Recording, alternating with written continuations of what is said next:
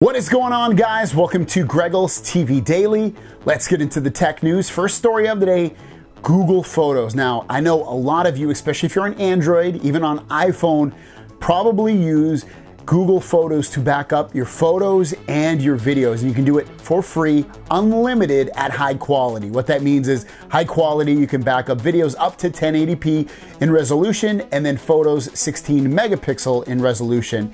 Completely free, unlimited. That is going to end June 1st, 2021, unless you have a Pixel 5 or older phone.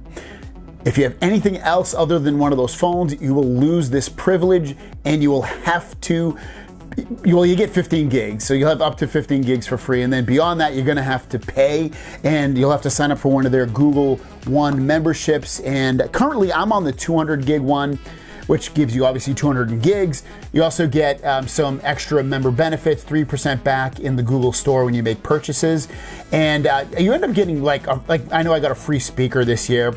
If you up the ante to the uh, two terabyte one, that one is $100 per year and you get two terabytes of storage. You can share it with family. You also get on this one, the extra stuff is you get 10% back in Google Store purchases, VPN for your Android phone, uh, like I said, the option to add family. And then from from there on out, it gets more expensive. 10 terabytes is $50 a month. 20 terabytes is $100 a month. So it gets quite expensive. But again, June 1st, 2021, high quality uh, photo and video backups will cost you in terms of the storage you have. The free amount is only 15 gigabytes total, not per year, just total and that includes uh, the 15 uh, gigabytes using your Gmail and your G Drive, and now your Google Photos will be included with that as well. So plan on if you still want to back up your photos and videos to Google Photos, probably picking up one of these plans. I'm personally, I probably won't do it just yet. I'll probably do it in June. I'll jump up to the two terabyte plan. And at that point, uh, it's going to cost me about $100 a year. But I, for me, I feel like it's worth it. I know I could back it up to an external drive but it's always nice to have it in the cloud. It's easier because it's more accessible. Um, they index it with with uh, you know looking through names and things like that. If I type in like oh Greg or you know dogs or lakes, rivers, whatever I want to search for, all that stuff comes up with Google Photos. And plus, it's in the cloud. It's I feel like it's a little bit safer than if it was in my house, where my house could burn down, someone could steal my drive, and I lost all those memories. Last story of the day. Wish I had in my hand. Galaxy phones a bunch of them that don't have Android 11 One UI 3 are soon, very soon, going to be getting them. And I'm holding up the Galaxy Z Fold 2 because this is one of those phones that will be getting it very, very soon. Now, as you can see from the graphics right here, it's gonna come to the Galaxy Z Fold 2 5G, the Galaxy Z Flip 5G, S10e, S10, S10 Plus, S10 5G, Note 10, Note 10 Plus. Um, the Z Flip LTE will also be getting it uh, very soon, I've heard.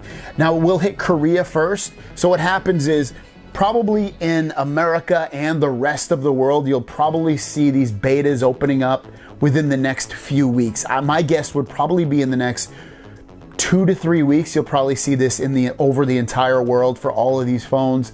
Obviously, eh, at least I know in America, it'll probably just be for like T-Mobile, Unlocked, and probably like Verizon or something or whatever they Sprint. I forget what carriers it was here in America previously. It'll probably be the same exact thing.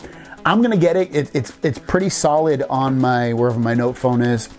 It's pretty solid on my note phone when I use it. I haven't any issues with the cameras or just using it. And, and, this isn't my daily phone, but again, I haven't had any issues, so I'm not worried about using it on my Z Fold 2 as my daily software that I'm running because I don't know, I'm just not.